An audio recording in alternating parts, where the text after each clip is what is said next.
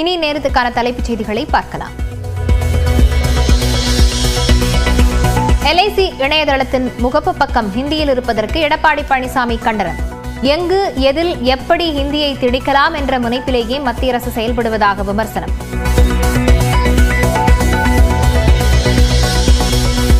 தென்கிழக்கு வங்கக்கடலில் வரும் இருபத்தி மூன்றாம் தேதி உருவாகிறது காற்றழுத்த தாழ்வு பகுதி. அடுத்த இரண்டு நாட்களில் தாழ்வு மண்டலமாக வலுப்பெற வாய்ப்பு.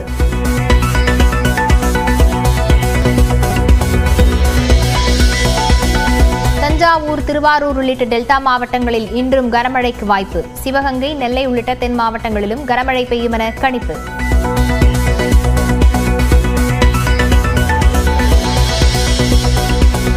வங்கக்கடலில் உருவாக உள்ள காற்றழுத்த தாழ்வு பகுதியை தொடர்ந்து கண்காணித்து வருகிறோம். தமிழ்நாடு அரசுக்கு வானிலை ஆய்வு மையம் கடிதம்.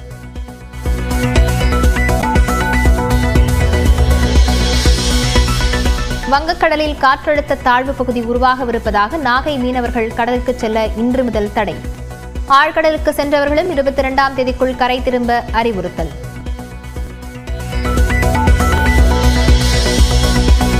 பாலிஹோஸ் சர்வதேச நிறுவனம் தொடர்பான ஐம்பது இடங்களில் வருமான வரி சோதனை. சென்னை காஞ்சிபுரம் திருவள்ளூர் செங்கல்பட்டில் உள்ள நிர்வாகிகளின் வீட்டிலும் சோதனையில் ஈடுபட்டுள்ள அதிகாரிகள்.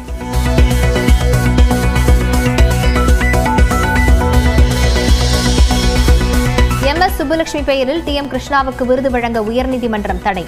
சுப்புலட்சுமியின் பேரன் தொடர்ந்த வழக்கில் உத்தரவு.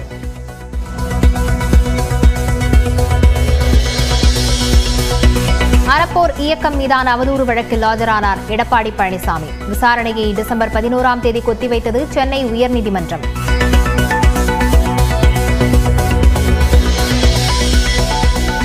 திருச்செந்தூரில் இரண்டு பேரை கொன்ற யானையை புத்துணர்வு முகாமுக்கு அனுப்ப திட்டம். யானை உள்ள குடில் அருகே செல்ல பக்தர்களுக்கு தடை.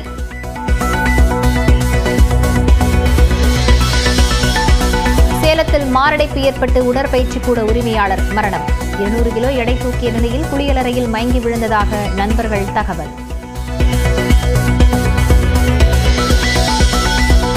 மகாராஷ்டிரா சட்டமன்றத்திற்கு நாளை ஒரே கட்டமாக வாக்குப்பதிவு. ஜார்க்கண்டில் இரண்டாம் கட்டமாக முப்பத்தி எட்டு தொகுதிகளில் வாக்குப்பதிவு நடத்த ஏற்பாடுகள் தீவிரம்.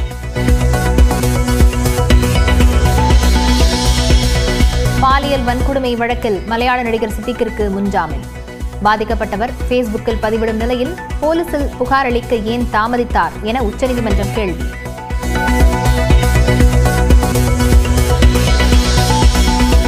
சட்டவிரோத பணப்பரிமாற்ற வழக்கில் ஜாமீன் கோரி ஜாஃபர் சாதிக் மனு. நவம்பர் இருபத்தி இரண்டாம் தேதிக்குள் அமலாக்கத்துறை பதிலளிக்க சென்னை சிபிஐ நீதிமன்றம் உத்தரவு.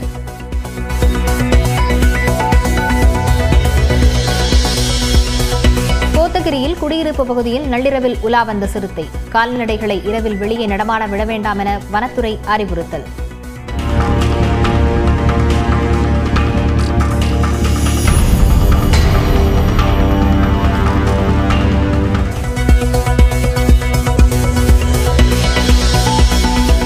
சென்னை அருகே திருவேற்காட்டில் ஆக்கிரமிப்பு வீட்டை அகற்ற நோட்டீஸால் ஒருவர் தற்கொலை என புகார்.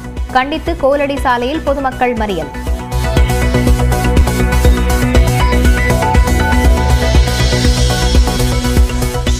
ஸ்ரீபெரும்புதூரில் ஆயிரத்தி எழுநூற்று தொன்னூற்றி இரண்டு கோடியில் ஆலையை விரிவாக்கம் செய்ய சுற்றுச்சூழல் அனுமதி கோரி பாக்ஸ்கான் நிறுவனம் விண்ணப்பம்.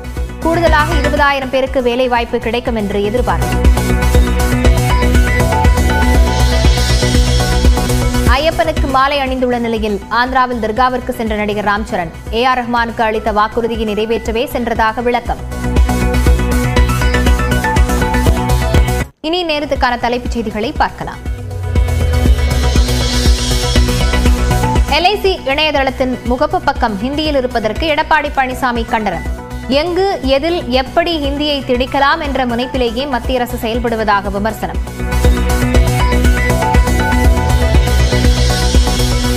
தென்கிழக்கு வங்கக்கடலில் வரும் இருபத்தி மூன்றாம் தேதி உருவாகிறது காற்றழுத்த தாழ்வு பகுதி. அடுத்த இரண்டு நாட்களில் தாழ்வு மண்டலமாக வலுப்பெற வாய்ப்பு.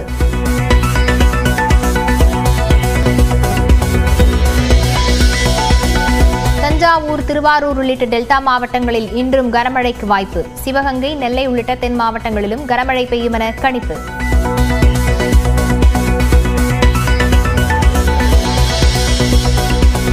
வங்கக்கடலில் உருவாக உள்ள காற்றழுத்த தாழ்வு பகுதியை தொடர்ந்து கண்காணித்து வருகிறோம். தமிழ்நாடு அரசுக்கு வானிலை ஆய்வு மையம் கடிதம்.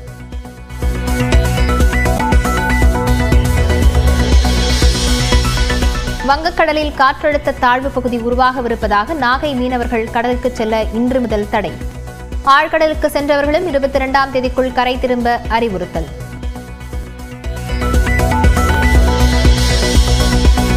பாலிஹவுஸ் சர்வதேச நிறுவனம் தொடர்பான ஐம்பது இடங்களில் வருமான வரி சோதனை.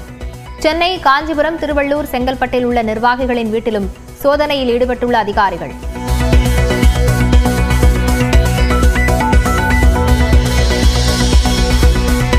சுப்புலட்சுமி பெயரில் டி எம் கிருஷ்ணாவுக்கு விருது வழங்க உயர்நீதிமன்றம் தடை. சுப்புலட்சுமியின் பேரன் தொடர்ந்த வழக்கில் உத்தரவு.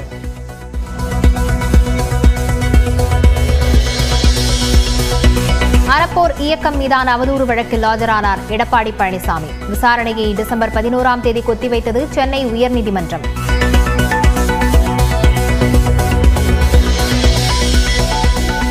திருச்செந்தூரில் இரண்டு பேரை கொன்ற யானையை புத்துணர்வு முகாமுக்கு அனுப்ப திட்டம். யானை உள்ள குடில் அருகே செல்ல பக்தர்களுக்கு தடை.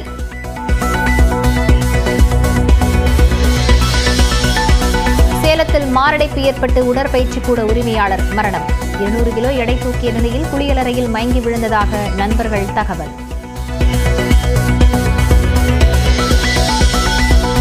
மகாராஷ்டிரா சட்டமன்றத்திற்கு நாளை ஒரே கட்டமாக வாக்குப்பதிவு. ஜார்க்கண்டில் இரண்டாம் கட்டமாக முப்பத்தி எட்டு தொகுதிகளில் வாக்குப்பதிவு நடத்த ஏற்பாடுகள் தீவிரம்.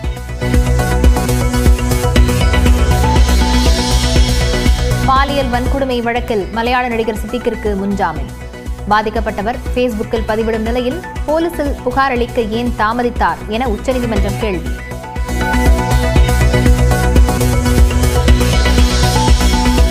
சட்டவிரோத பணப்பரிமாற்ற வழக்கில் ஜாமீன் கோரி ஜாஃபர் சாதிக் மனு. நவம்பர் இருபத்தி இரண்டாம் தேதிக்குள் அமலாக்கத்துறை பதிலளிக்க சென்னை சிபிஐ நீதிமன்றம் உத்தரவு.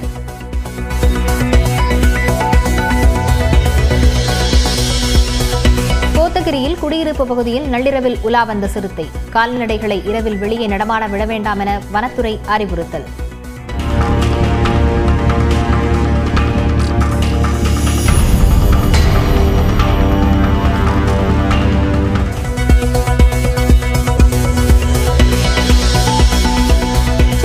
திருவேற்காட்டில் ஆக்கிரமிப்பு வீட்டை அகற்ற நோட்டீஸால் ஒருவர் தற்கொலை என புகார். கண்டித்து கோலடி சாலையில் பொதுமக்கள் மறியல்.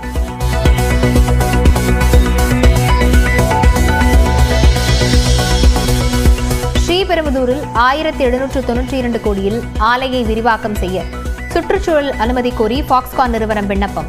கூடுதலாக இருபதாயிரம் பேருக்கு வேலை வாய்ப்பு கிடைக்கும் என்று எதிர்பார்ப்பு. ஐயப்பனுக்கு மாலை அணிந்துள்ள நிலையில் ஆந்திராவில் தர்காவிற்கு சென்ற நடிகர் ராம்சரண் ஏ ஆர் ரஹ்மானுக்கு அளித்த வாக்குறுதியை நிறைவேற்றவே சென்றதாக விளக்கம்.